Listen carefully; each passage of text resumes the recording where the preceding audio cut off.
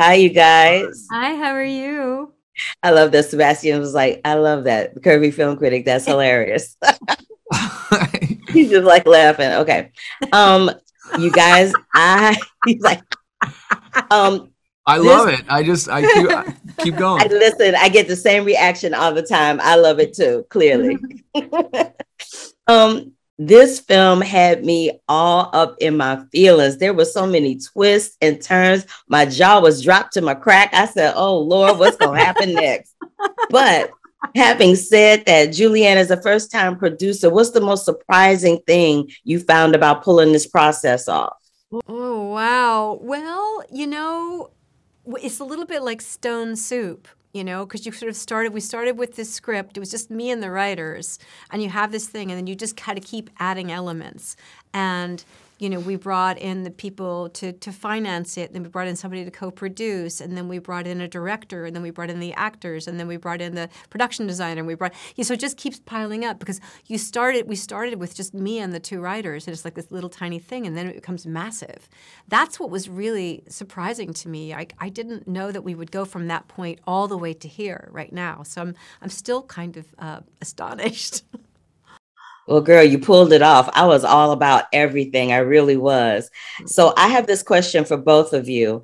If confident, both of these characters are super, super confident in what they're doing and trying to pull off, right? And I'm trying to skirt around it because when people watch this interview, I want them to watch the movie. I don't want me to tell them what the movie is about in this interview. Right. So if confidence was currency, how much would Max and Madeline be worth? Um, a lot.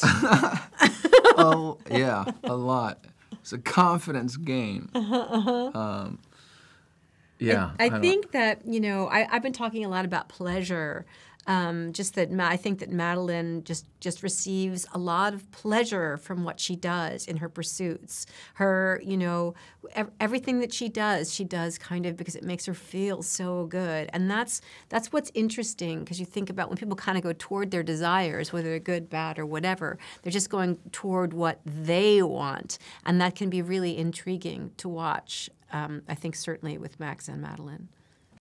Cool. I'll take that.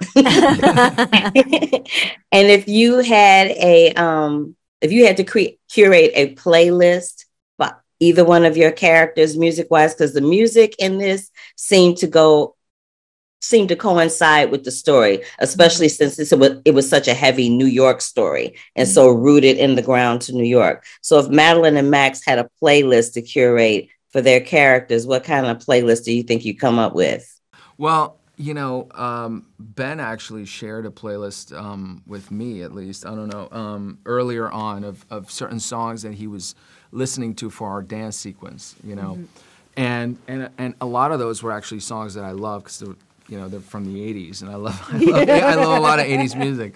And particularly the song that we used actually is a real favorite of mine. So I just sort of stuck to that, actually. I was like, okay, okay this, is, this might be – part of the feeling of or the vibe of this film, you know. But but then when I saw the movie, I, he made all these other great musical choices, you know, because the movie to some extent functions in chapters, and mm-hmm. if you mm-hmm. pay attention, it's all really curated in really specific ways, and that was so neat. Yeah. Yeah, absolutely. I love that. And I, I'm a fan of both of you. I've seen pretty much everything you both of you have done. But mm-hmm. and I noticed that you all always tackle these characters that have quite a bit of substance, but they're really complex all at the same time. Was there anything in particular for Max and Madeline that made you guys want to jump into the, these particular characters? Because to a certain extent, they seemed a little different than a lot of the stuff that I've seen you guys do. Thank you.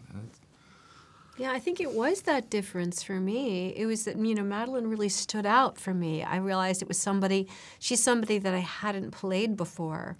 Um, and I was excited by that idea and excited that she's she's also someone who has a relationship with all these different characters in the you know this is an ensemble movie and and all of and they all have these very intricate intense relationships with one another. And i was intrigued by that too. I'm like i'm like all these these great strong characters you know all hold their own weight. So so to me that was really the the draw yeah, and and you know Max seemed uh, at first to, to have to be doing things that were you know, good natured, and then and then sort of halfway through he would go, you know, completely the opposite way, and and so it was always really hard to know what the true what was the true desire of this character? What was the real intention? Was this somebody who had been broken in a certain way that was trying to, you know, um, sort of get back at the world, or somebody, you know, did he come from like a really poor background and, and, and work his way to blend into this world because